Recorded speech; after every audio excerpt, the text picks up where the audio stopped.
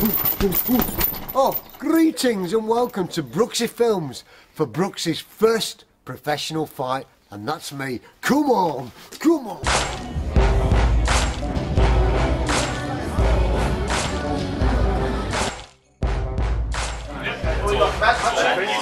Well, we're here in the rooms now. There's half an hour to go before the big fight. We've got eight fights coming up. It's a bit tense in here, so we're going to go in. The doc's doing a few of the boys. Everybody's passed except for the great lock-up. The mascot. Well, he's going to do very well today. As the Reds go marching. Hoy, hoy,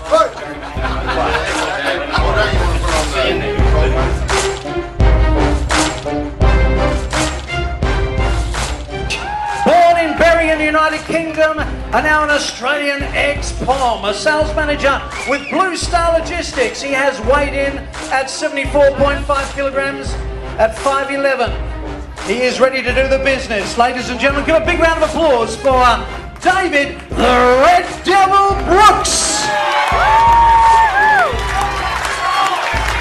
Make it quick, Here we go. It's round number one brought to you by Roadworks Traffic Control.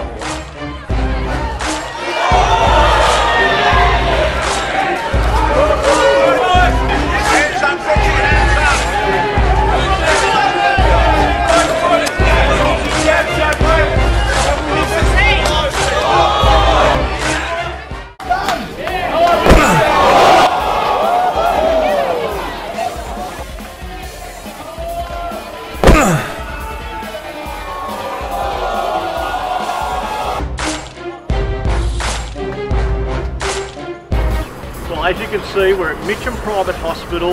Last night, Brooksy was pummeled, spent the night in hospital, and we're, here he comes now. Actually, Brooksy's on his way up. He's looking all right, actually. Some more scars, a little bit of bandaging. I'm more worried about the uh, the chap that belted him, but Brooksy, how you feeling? I feel great, Harry.